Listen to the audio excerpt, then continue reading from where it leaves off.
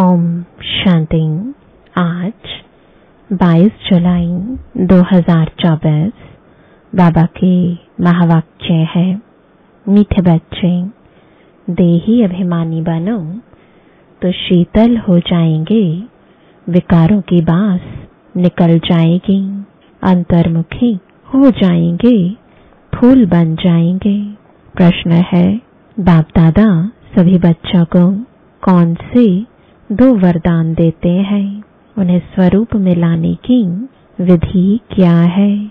उत्तर है, बाबा, सभी बच्चों को शांति और सुख का वरदान देते हैं। बाबा कहते, बच्चे, तुम शांति में रहने का अभ्यास करो। कोई उल्टा सुल्टा बोलते हैं तो तुम जवाब ना दो। तुम्हें शांत रहना है। फालतू झरमुई झगमुई की बातें नहीं करनी है। किसी को भी दुख नहीं देना है। मुख में शांति का मोहलरा डाल दो। तो यह दोनों वरदान स्वरूप में आ जाएँगे। ओम शांति। मीठे मीठे बच्चे कभी सम्मुख हैं, कभी दूर चले जाते हैं। सम्मुख फिर वही रहते हैं जो याद करते हैं। क्योंकि याद की यात्रा में ही सब कुछ समाया हुआ है। गाया जाता है ना, नज़र से निहाल। आत्मा की नज़र जाती है परम पिता में, और कुछ भी उनको अच्छा नहीं लगता। उनको याद करने से वे कर्म विनाश होते हैं। तो अपने पर कितनी खबरदारी रखनी चाहिए। याद ना करने से माया समझ जाती है, इनका योग टूटा हुआ है तो अपनी तरफ़ खींचती है।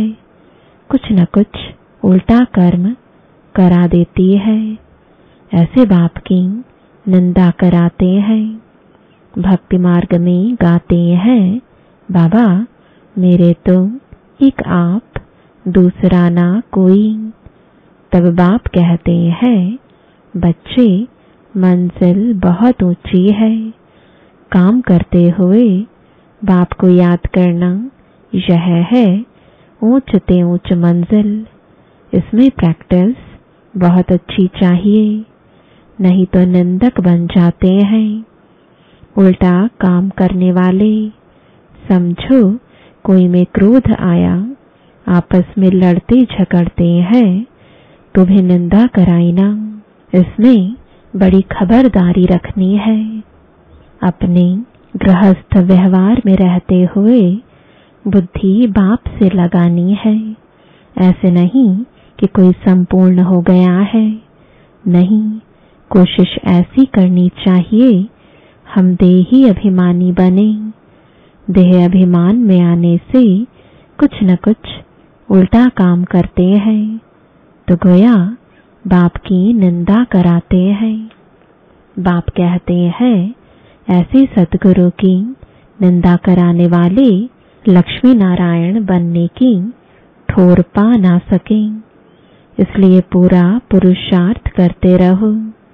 इससे तुम बहुत ही शीतल बन जाएँगे। पाँच विकारों की बातें सब निकल जाएगी। बाप से बहुत ताकत मिल जाएगी। कामकाज भी करना है। बाप ऐसे नहीं कहते कि कर्म ना करो। वहाँ तो तुम्हारे कर्म अकर्म हो जाएँगे। कलयुग में जो कर्म होते हैं, वह विकर्म हो जाते हैं। अभी संगम युग पर तुमको सीखना होता है। वहाँ सीखने की बात नहीं। यहाँ की शिक्षा ही वहाँ साथ चलेगी। बाप बच्चों को समझाते हैं, बाहर मुक्ता अच्छी नहीं है। अंतर्मुखी भव। वह भी समय आएगा जबकि तुम बच्चे अंतर्मुख हो जाएँगे। सिवाय बाप के और कुछ याद नहीं आएगा। तुम आए भी ऐसे थे। कोई की याद नहीं थी। गर्भ से जब बाहर निकले, तब पता पड़ा कि यह हमारे माँ बाप है, यह फलाना है। तो फिर अब जाना भी ऐसे है। हम एक बाप के हैं और कोई उनके सिवाय। बुद्धि में याद न आए भल टाइम पड़ा है, परंतु पुरुषार्थ तो पूरी रीति करना है। शरीर पर तो कोई भरोसा नहीं, कोशिश करते रहना चाहिए। घर में भी बहुत शांति हो, क्लेश नहीं नहीं तो सब कहेंगे, इनमें कितनी अशांति है, तुम बच्चों को तो रहना है, बिल्कुल शांत। तुम शांति का वर्षा ले रहे हो ना? अभी तुम रहते हो कांटों के बीच में, फूलों के बीच में नहीं हो। कांटों के बीच रह, फूल बनना है। कांटों का कांटा नहीं बनना है। जितना तुम बाप को याद करेंगे, उतना शांत रहेंगे। कोई उल्टा सुल्टा बोले, तुम शांति में रहो। आत्मा है ही शांत। आत्मा का स्वधर्म है शांत। तुम जानते हो, अभी हमको उस घर में जाना है। बाप भी है शांति का सागर। कहते हैं, तुमको भी शांति का सागर बनना है। फालतू झरमुई झगमुई बहुत नुकसान करती है। बाप डायरेक्शन देते हैं। ऐसी बातें नहीं करनी चाहिए। इससे तुम बाप की निंदा कराते हो। शांति में कोई निंदा व विकर्म होता नहीं। बाप को याद करते रहने से और ही विकर्म विनाश होंगे। अशांत न खुद हो, न औरों को करो। किसको दुख देने से आत्मा नाराज़ होती है। बहुत है जो रिपोर्ट लिखते हैं। बाबा, यह घर में आते हैं तो धम चक्र मचा देते हैं। बाबा लिखते हैं, तुम अपने शांति स्वधर्म में रहो। हातम ताई की कहानी भी है ना? उनको कहा, तुम मुख में वो हलरा डाल दो तो आवाज़ निकलेगा ही नहीं। बोल नहीं सकेंगे। तुम बच्चों को शांति में रहना है। मनुष्य शांति के लिए बहुत धक्के खाते हैं। तुम बच्चे जानते हो, हमारा मीठा बाबा शांति का सागर है। शांति कराते कराते विश्व में शांति स्थापन करते हैं। अपने भविष्य मर्तबे को भी याद करो। वहाँ होता ही है एक धर्म, दूसरा कोई धर्म होता नहीं। उनको ही विश्व में शांति कहा जाता है। फिर जब दूसरे दूसरे धर्म आते हैं तो हंगामे होते हैं। अभी कितनी शांति रहती है। समझते हो हमारा घर? वही है। हमारा स्वधर्म है शांत। ऐसे तो नहीं कहेंगे, शरीर का स्वधर्म शांत है। शरीर विनाशी चीज़ है, आत्मा अविनाशी चीज़ है। जितना समय आत्माएँ वहाँ रहती हैं तो कितना शांत रहती हैं। यहाँ तो सारी दुनिया में अशांति है। इसलिए शांति मांगते रहते हैं। परंतु कोई चाहे सदा शांत में रहे, यह तो हो ना सके। भल तेरे सठ जन्म वहाँ रहते हैं।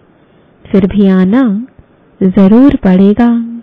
अपना पाठ दुख सुख का बजाकर फिर चले जाएँगे।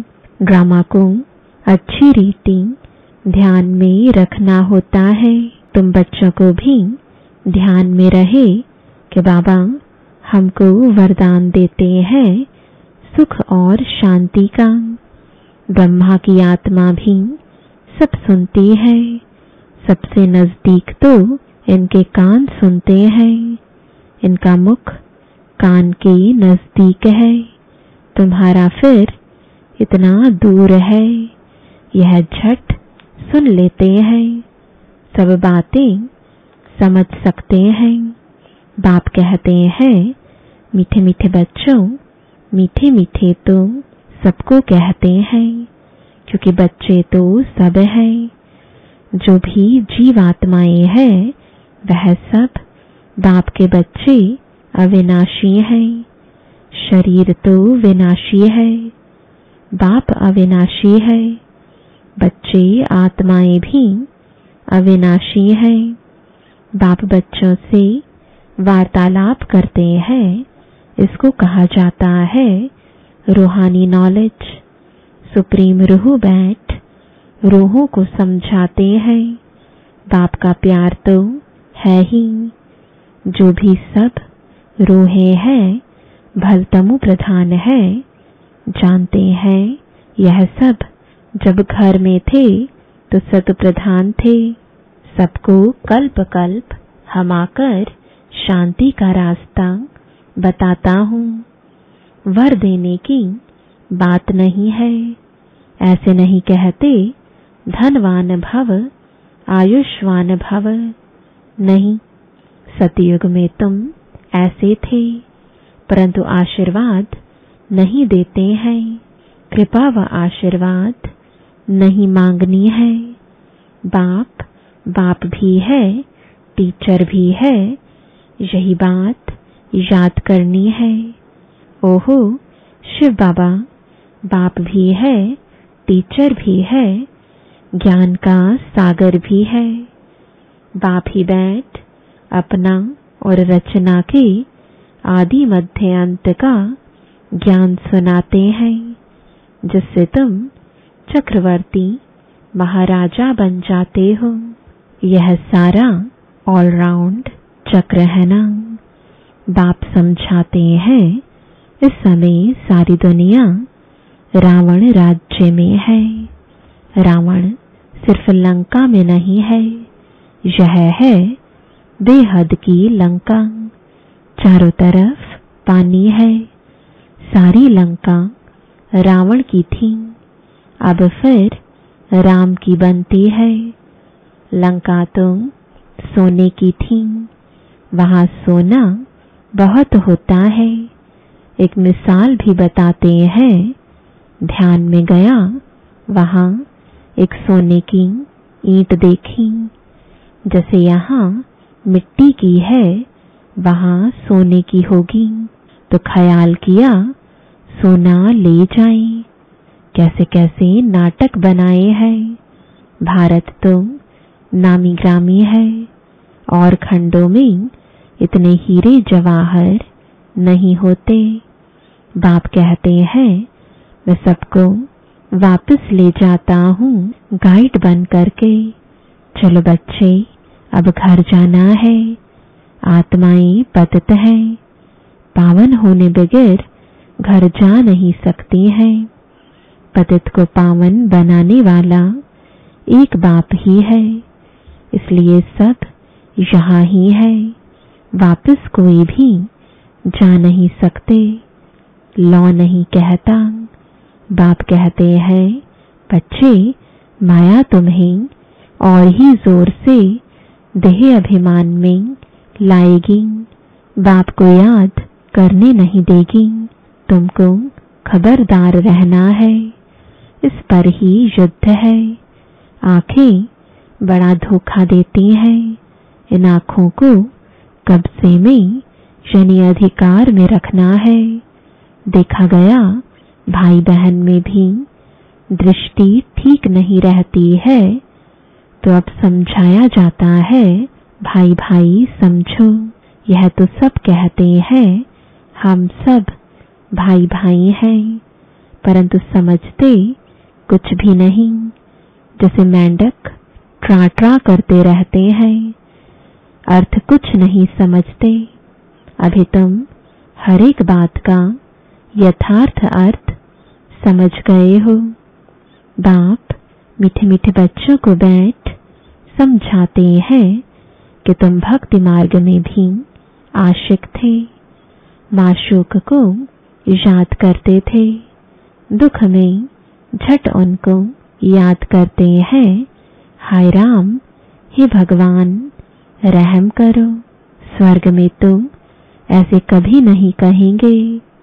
वहाँ रावण राज्य ही नहीं होता है। तुमको राम राज्य में ले जाते हैं तो उनकी मत पर चलना चाहिए। अभी तुमको मिलती है, ईश्वरीय मत। फिर मिलेगी दैवी मत, इस कल्याणकारी संगम युग को कोई भी नहीं जानते हैं, क्योंकि सबको बताया हुआ है, कलयुग अजन छोटा बच्चा है, लाखों वर्ष पड़े हैं। बाबा कहते, यह है भक्ति का घोर अंधियारा, ज्ञान है सोझरा ड्रामा अनुसार भक्ति की भी नोंद है। यह फिर भी होगी। अब तुम समझते हो, भगवान मिल गया तो भटकने की दरकार नहीं रहती। तुम कहते हो, हम जाते हैं बाबा के पास अथवा बाप दादा के पास। इन बातों को मनुष्य तो समझ ना सके। तुम्हारे में भी जिनको पूरा निश्चय नहीं बैठता तो माया एकदम हप कर लेती है। एकदम गज को ग्रहा हप कर लेता है। आश्चर्यवत सुनंती, पुराने तो चले गए, उनका भी गायन है। अच्छे अच्छे महारथियों को माया हरा देती है। बाबा को लिखते हैं, बाबा आप अपनी माया को नहीं भेजो। अरे, यह हमारी थोड़े ही है। रावण अपना राज्य करते हैं। हम अपना राज्य स्थापन कर रहे हैं। यह परंपरा से चला आता है। रावण ही तुम्हारा सबसे बड़ा दुश्मन है। जानते हैं, रावण दुश्मन है, इसलिए उनको हर वर्ष जलाते हैं। मैसूर में तो दशहरा बहुत मनाते हैं। समझते कुछ नहीं। तुम्हारा नाम है शिव शक्ति सेना। उन्होंने फिर नाम बंदर सेना डाल दिया है। तुम जानते हो, बरोबर हम बंदर मिसल थे। अब शिव बाबा से शक्ति ले रहे हो, रावण पर जीत पाने। बाप ही आकर राजयोग सिखलाते हैं। इस पर कथाएँ भी अनेक बना दी हैं। अमर कथा भी कहते हैं। तुम जानते हो, बाबा हमको अमर कथा सुनाते हैं। बाकी कोई पहाड़ आदि पर नहीं सुनाते। कहते हैं, शंकर ने पार्वती को अमर कथा सुनाई। शिव शंकर का चित्र भी रखते हैं। दोनों को मिला दिया है। यह सब है भक्ति मार्ग। दिन प्रतिदिन सप्तमो प्रधान होते गए हैं। सत प्रधान से सतो होते हैं तो दो कला कम होती है। त्रेता को भी वास्तव में स्वर्ग नहीं कहा जाता है। बाप आते हैं तुम बच्चों को स्वर्गवासी बनाने। बाप जानते हैं, ब्राह्मण कुल और सूर्यवंशी, चंद्रवंशी कुल दोनों स्थापन हो रहे हैं। रामचंद्र को क्षत्रिय की निशानी दी है। तुम सब क्षत्रिय होना, जो माया पर जीत पाते हो। कम मार्क से पास होने वाले को चंद्रवंशी कहा जाता है, इसलिए राम को बाण आदि दे दिया है। हिंसा तो त्रेता में भी होती नहीं। गायन भी है, राम राजा, राम प्रजा। परंतु यह क्षत्रियपन की निशानी दे दी है तो मनुष्य मूझते हैं। यह हथियार आदि होते नहीं है। शक्तियों के लिए भी कटारी आदि दिखाते हैं। समझते कुछ भी नहीं है। तुम बच्चे अभी समझ गए हो कि बाप ज्ञान का सागर है। इसलिए बाप ही आदि मध्य अंत का राज समझाते हैं। बेहद के बाप का जो बच्चों पर लव है वह हद के बाप का हो ना सके। इक्कीस जन्मों के लिए बच्चों को सुखदाई बना देते हैं। तो लवली बाप, ठहराना। कितना लवली है बाप, जो तुम्हारे सब दुख दूर कर देते हैं। सुख का वर्षा मिल जाता है। वहाँ दुख का नाम निशान नहीं होता। अभी यह बुद्धि में रहना चाहिए ना। यह भूलना नहीं चाहिए। कितना सहज है सिर्फ़ मुरली पढ़कर सुनानी है। फिर भी कहते हैं, ब्राह्मणी चाहिए। ब्राह्मणी बगैर धारणा नहीं होती। अरे, सत्यनारायण की कथा तुम छोटे बच्चे भी याद कर सुनाते हैं। मैं तुमको रोज रोज समझाता हूँ। सिर्फ़ अल्फ को याद करो।